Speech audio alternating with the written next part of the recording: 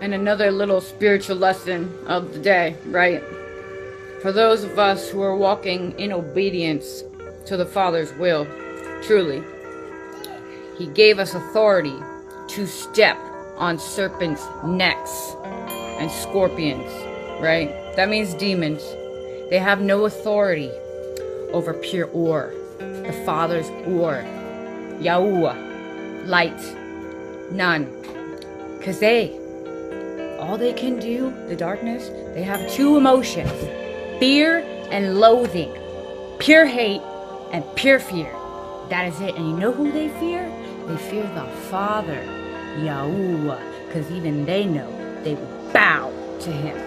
And it's coming. And all they can do is blop, blop, blop, blop, blop, blop, blop, flap their lips and try and strike fear in you.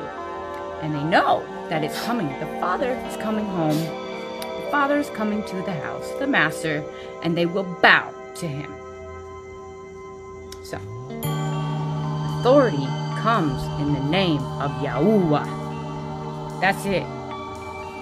So, praise Yahuah. Don't let them strike fear into you because they fear the Father. As we all should, right? Pure Ahava and fear. It's a balance. It's a healthy balance. So, praise Yahuah. He is good.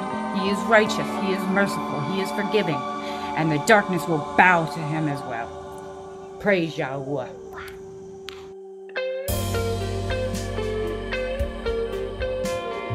And then another thing the father was telling me. Um, so there's these these portals all over this country too, and I believe in other countries as well. Um, they're satanic portals um, for when the father removes the seal and allows the uh, demons from Sheol to come out and eat their own.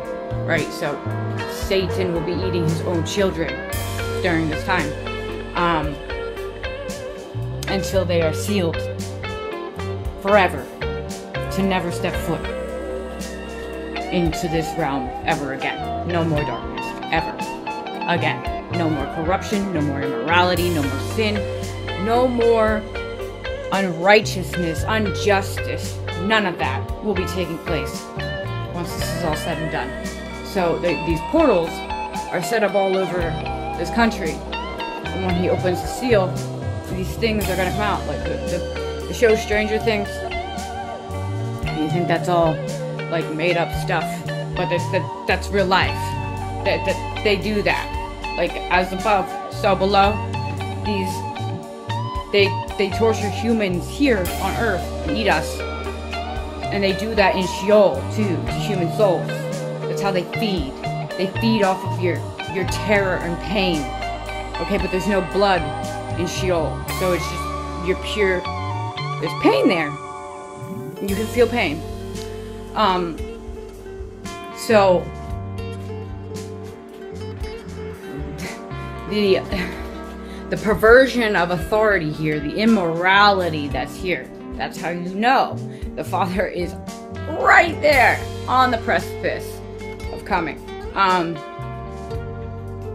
they, speaking of the fallen, eat us, and humans eat the animals, and they they they torture the animals. The animals have emotions. They feel pain, and you know who feels that pain? You know who feels that pain too? The Father.